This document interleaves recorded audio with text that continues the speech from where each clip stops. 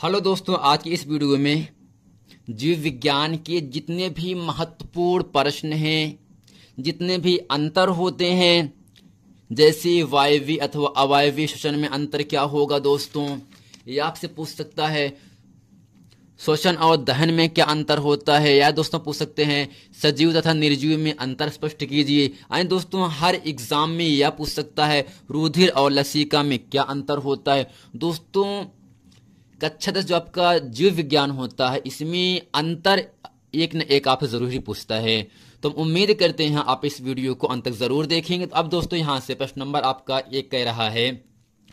निम्नलिखित vitamin vitamin के स्रोत एवं उनकी कमी से होने वाली व्योधियों का वर्णन कीजिए। अब दोस्तों, विटामिन ए है, विटामिन बी वन है, विटामिन सी है, विटामिन डी यानी इन विटामिन की कमी से क्या होता है और ये कहाँ से कैसे प्राप्त होता है? अब दोस्तों, इसके उत्तर में हम कॉलम यहाँ से बना देंगे विटामिन और दोस्तों, विटामिन अर्थात स्रोत। अब यहाँ से लिखेंगे कमी से होने वाली व्यथी। अब दोस्तों, जो आपका विटामिन ए होता है, ये गाजर, हरी सब्ज़ियाँ, मछली का तेल, अंडे आदि से विटामिन ए प्राप्त होता है। अगर दोस्तों, हम इन सबको ना खाएँ तो हमें क्या होगा? रतौंधी, शारीरिक वृद्धि व भार में कमी, कार्निया तथा त्वचन चमड़ी की कोशिकाओं का शल की शल की भवन आदि। यानी दोस्तों, गाजर, हरी सब्ज़ियाँ, मछली का तेल, अंडे आदि को ना खाने से, अर्थात विटामिन ए का सेवन ना करने से रतौंधी अर्थात शारीरिक वृद्धि व भार में कमी होने लगता है। अब दोस्तों, जो आपका विटामिन बी वन होता है, ये दोस्तों प्राप्त होता है अनाज से, फलियाँ, मांस व अंडे से प्राप्त होता है। और दोस्तों, विटामिन बी वन की कमी से बेरी बेरी अर्थात जो आपका जीव, जो आपका लिप है अर्थात ओट है, वो आपका धीरे धीरे फटने लगता है, अर्थात विटामिन बी वन की कमी से बेरी बेरी रोग होने लगता है। अब जो आपका विटामिन सी यहाँ से है, ये प्राप्त होता है जितने भी खट्टे फल हैं, जैसे आंवला।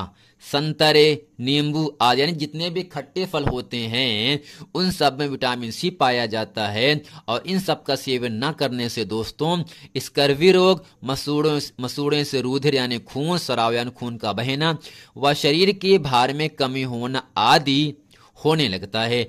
अब दोस्तों, जो आपका विटामिन डी होता है, सूर्य का प्रकाश, मक्खन, दूध, मछली का तेल आदि, यानी दोस्तों, जो आपका विटामिन डी होता है, सूर्य के प्रकाश से प्राप्त होता है। मक्खन, दूध, मछली का तेल खाने से विटामिन डी प्राप्त होता है। अगर दोस्तों, हम विटामिन इन सबको नहीं खाएँगे तो दोस्तों, हमें सूखा रोग होगा, आष्टी होगा, ओमेलेशिया आदि रोग उत्पन्न हो जाता है। अब दोस्तों उम्मीद करते हैं विटामिन और विटामिन के स्रोत और विटामिन की कमी से होने वाले रोग इसको अच्छे तरीके से आप समझ गए होंगे। अब दोस्तों हम आपको बताने वाले हैं वायवी तथा अवायवी श्वसन में अंतर। जैसा कि दोस्तों 2015, 17, 18 और 20 में पूछा गया है ठीक? वायवी तथा अवायवी शोषण में अंतर। अब दोस्तों कॉलम बनाते हैं यहाँ से वायवी शोषण दूसरा दोस्तों कॉलम बनाएँगे हम अवायवी शोषण दोस्तों इसमें लिखेंगे वायवी श्वसन ऑक्सीजन की उपस्थिति में होता है, तथा इसमें ऑक्सीजन उपभुक्त हो जाती है। दोस्तों, अब इसमें लिखेंगे अवायवीय श्वसन में। अवायवीय श्वसन ऑक्सीजन की अनुपस्थित में होता है। यानी दोस्तों, जो आपका वायवीय श्वसन होता है, ऑक्सीजन की उपस्थिति में होता है, लेकिन जो आपके अवायवीय श्वसन होता है, इनमें ऑक्सीजन की अनुपस्थिति रहती है। अब दोस्तों वायवीय श्वसन में दूसरा पॉइंट यहाँ से लिखेंगे। इसमें ग्लूकोज का पूर्ण विखंडन होता है। अब इसमें लिखेंगे अवायवी में। इसमें ग्लूकोज का पूर्ण विखंडन नहीं होता है। इसमें CO2 गैस तथा जल अंतिम उत्पाद होते हैं। जबकि दोस्तों, अवायवी श्वसन में इसमें इथेनॉल तथा लैक्टिक अम्ल अंतिम उत्पाद होते हैं। अब चौथा पॉइंट यहाँ से है आपका श्वसन में। इसमें उच्च मात्रा में ऊर्जा उत्पन्न होती है, जबकि दोस्तों अवायवीय श्वसन में इसमें कम मात्रा में ऊर्जा उत्पन्न होती है। वायवीय दोस्तों श्वसन में यह माइ यह माइट्रोकांड्रिया तथा साइटोप्लाज्मा में होता है, जबकि दोस्तों अवायवीय श्वसन में यह केवल साइटोप्लाज्मा में होता है। अब दोस्तों वायवीय श्वसन में इसमें अड़तीस एटीपी अणु मुक्त होते हैं, जबकि अवायवीय शोषण में इसमें केवल दो एटीपी अणु मुक्त होते हैं। अब दोस्तों, यहाँ से हम लिखते हैं, श्वासोच्छवास तथा शोषण में अंतर। दोस्तों, कॉलम बनाएँगे यहाँ से, श्वासोच्छवास यानी सांस लेना। दोस्तों, यहाँ बनाएँगे दोस्तों श्वसन अब दोस्तों, में लिखेंगे, यह एक भौतिक क्रिया है, जिसमें शरीर, ऑक्सीजन का अंतर ऑक्सीजन का अंतर ग्रहण करता है तथा कार्बन डाइऑक्साइड का बहिक्षेपण करता है।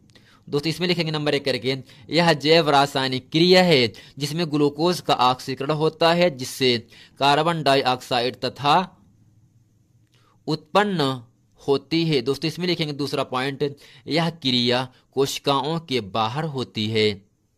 यह क्रिया कोशिकाओं के अंदर होती है। अब दोस्तों, इसमें लिखते हैं, तीसरा पॉइंट है, इसमें एंजाइम की आवश्यकता नहीं होती, जबकि दोस्तों, शोषण में एंजाइम की आवश्यकता होती है। इसमें ऊर्जा उत्पन्न नहीं होती, जबकि दोस्तों, शोषण में ऊर्जा उत्पन्न होती है।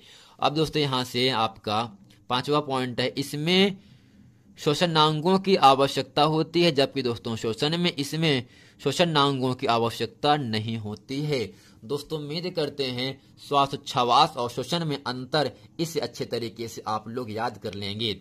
अब दोस्तों, अगला पॉइंट यहाँ से आता है, शोषण और दहन में अंतर स्पष्ट कीजिए। दोस्तों, इसमें लिखेंगे कालम, बनाएँगे शोषण, यहाँ कालम बनाते हैं दहन।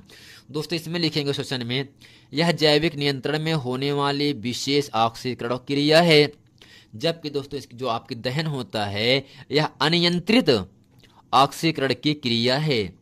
दूसरा पॉइंट यहाँ से लिखेंगे, इसमें अधिकांश विमोचित ऊर्जा को धीरे धीरे कई चरणों में विशेष पदार्थ एडिनोसिन डाइफास्फेट में अनुबंधित किया जाता है। जबकि दोस्तों, दहन में इसमें संपूर्ण निर्मुक्त ऊर्जा प्रकाश एवं उष्मा में परिणत होकर एक ही चरण में विकिरित हो जाती है। अब दोस्तों, यहाँ से आपका तीसरा पॉइंट आपके सामने यहाँ से आता है। इसमें एडीपी से एटीपी एडिनोसिन ट्राइफास्फेट अणु बनते हैं, जिनमें विभिन्न जैविक क्रियाओं को संपन्न करने के लिए गतिज ऊर्जा संचित रहती है। अतः ये ऊर्जा सिक्के कहलाते हैं। जबकि दोस्तों, आपके दहन में इसमें इस प्रकार की कोई क्रिया नहीं होती। संपूर्ण ऊर्जा बहुत कम समय में विकृत हो जाती है। अब दोस्तों, अगला यहाँ से है। यह क्रिया सामान्य ताप पर। 25 से 45 डिग्री सेंटीग्रेड पर होती है, जबकि दोस्तों दहन में यह क्रिया उच्च ताप पर होती है। दोस्तों, पांचवा पॉइंट यहाँ से है आपका शोषण में। यह क्रिया एंजाइम की सहायता से होती है, जबकि दोस्तों दहन में दहन में एंजाइम की आवश्यकता नहीं होती है। दोस्तों, उम्मीद करते हैं शोषण और दहन में अंतर इसे अच्छे तरीके से आप लोग समझ गए होंगे। अब दोस्तों, हम आपको बताते हैं सजीव तथा निर्जीव में अंतर। दोस्तों, इसमें कॉलम बनाते हैं सजीव, दूसरा कॉलम बनाते हैं निर्जीव। दोस्तों, सजीव का मतलब जिसमें जान होता है, दोस्तों, निर्जीव का मतलब जिसमें जान नहीं पाया जाता है। दोस्तों, पहला पॉइंट यहाँ से लिखेंगे, सजीव का शारीरिक आकार बदलता है। ज़ाहिर सी बात है दोस्तों, अगर कोई भी चीज़ सजीव रहेगा तो दर, दिन ब दिन उसमें चेंजिंग होता रहता है, उसमें बदलाव होता रहता है। दोस्तों, जो आपका निर्जीव होता है, वो सदैव वो हमेशा परिवर्तन नहीं होता है, अर्थात निर्जीव के आकार में कोई परिवर्तन नहीं होता है। अगर आपके पास कोई किताब है तो 10 साल बाद किताब उसी आकार का रहेगा। लेकिन अगर आप 10 साल के हो, आप 10 साल के बाद आपके आकार में चेंजिंग हो जाता है, बदलाव आ जाता है शरीर में, बोलचाल भाषा में, रहने में।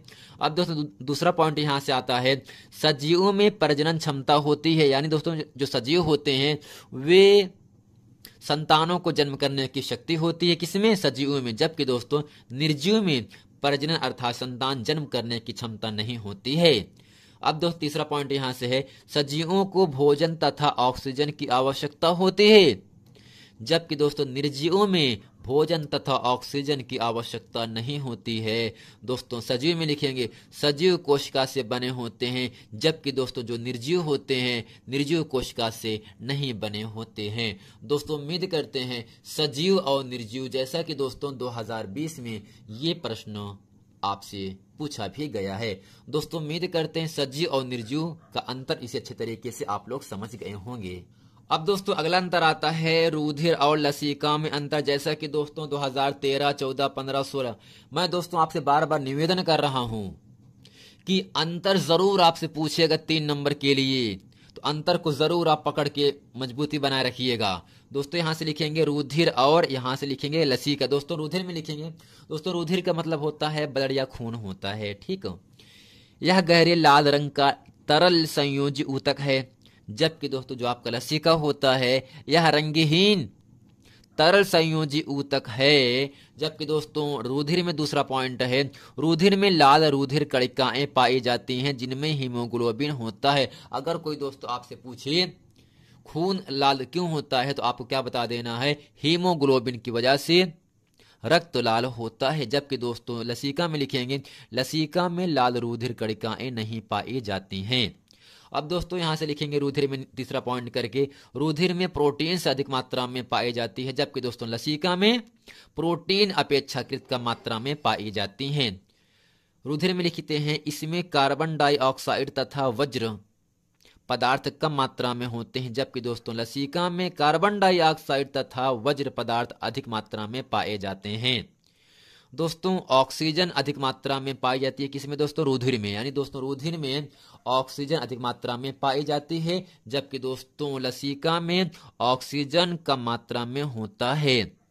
दोस्तों, छठवा पॉइंट में लिखेंगे यहाँ से रुधिर में, यह रुधिर वाहिनियों में परिसंचरित होता है, जबकि दोस्तों, लसीका में वाहिनियों में परिसंचरित होने के अतिरिक्त ऊतकों में ऊतक द्रव्य की तरह भी रहता है।